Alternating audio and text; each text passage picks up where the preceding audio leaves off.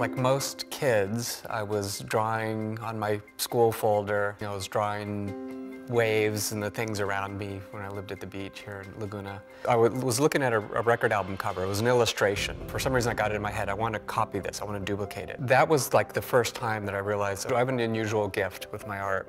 I kept drawing and painting, but I didn't really dive into it. I didn't major in art originally. I was actually a botany major. I ended up finishing a few years of college and then going to a commercial art school. So I went into the commercial art field. I don't know if that was a real conscious decision. It wasn't like, oh, I can either be a fine artist or a commercial artist. I just was sort of following the flow of how my life was evolving at the time. But I was getting my creative fulfillment in commercial art and graphic design, and I got really good at it, and I really enjoyed it. And, you know, several years had gone by while I was doing that, and I hadn't painted in a while and I met Donna, and when we met, she came to my house and saw a stack of paintings just stacked up against the wall, and she looked at them, and she, she literally said, you can do that, and you're not doing that with your life. And that was really kind of a wake-up call for me, realizing that I, I had this latent gift that I wasn't really honoring. So she gave me the space to build a business out of my art and to sort of build a new body of work again. And I was doing some graphics, I was doing some other stuff, but little by little I started letting that go and doing more of my fine art. Once I saw how well it was received and that people were really wanting more of it and it was selling well, then I was able to make that, make that leap, um, which I haven't looked back. As a magic realist artist, the underlying theme in all of my work is that they're, they're, allegorical they're, and they're symbolic. So it's never about just what you see going on.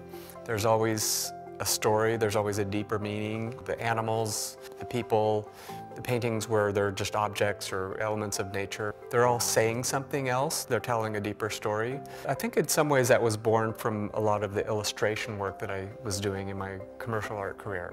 Because as an illustrator, you're given a book title, for example, or a concept, and you have to think about how do I make it interesting? How do I bring it to life in a new way?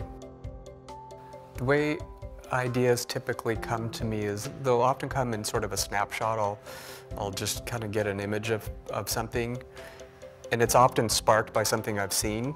And at that point, I might go out and I start collecting images. I take a lot of photographs, so when I'm just out and about, I'll see a scene, I'll see, I don't know, something unusual or something just every day. I'll intuitively feel, okay, that's like a setting for something to be going on in that. That's like the stage. And then over time, I'll see something else. And I'll think, oh, yeah, that fits with this. It's almost like doing stage setting in a play. And, and, even as I'm talking about it, I'm realizing my art is like kind of showing up for me, the characters in my art. Almost like they're alive, you know, they're showing up at the right time.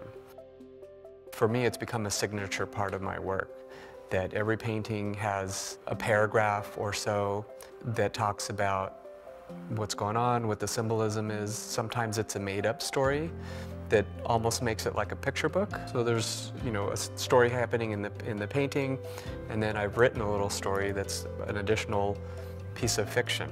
Very often I see people in tears, not because they just saw the painting, but because they saw the painting and then they read the story. So by having these narratives, people have a deeper experience, and it's a deeper experience for me too, to be able to, to share that. There's a writer in me too that's equally satisfied by the writing as I am by the painting. Being a symbolic artist, I I've come to the point where I'm able to look at my life symbolically. When I, so when I see things going on, I'm like, okay, symbolically, what does this mean? And what does it mean for me in my life? And how do I use it?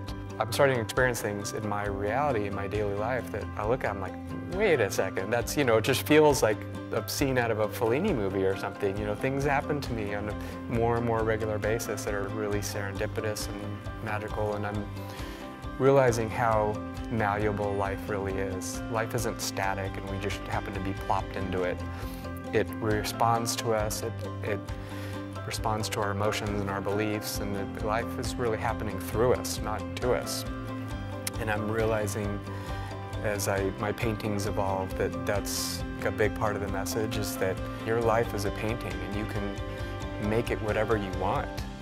And it's a matter of being conscious about what you're putting into your painting and what are you feeding it through your thoughts and through your emotions and your desires and your dreams because that's what your life is going to give back to you. So really it's about giving the message that uh, I'm not just the creative one giving you a piece of art.